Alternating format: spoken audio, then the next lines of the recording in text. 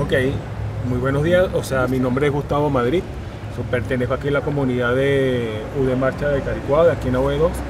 Este, a partir del 2 de noviembre, o sea, tuvimos una- un evento que se nos cayó, era el, el árbol que estaba por la parte de atrás de nosotros, este, ocasionando parte de destrozos aquí en el edificio.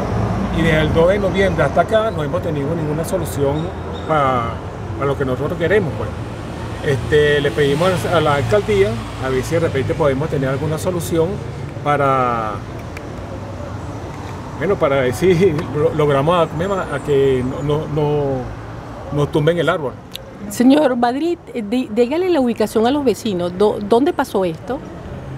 La ubicación. La ubicación es UD2 de Caricuao, este, donde está la estación del, eh, donde está el, semáforo, el semáforo, Eh, Ruth Morales. eh, Ruth Morales, El ajá, colegio, es el- ¿no? el colegio, El sí. preescolar, sí.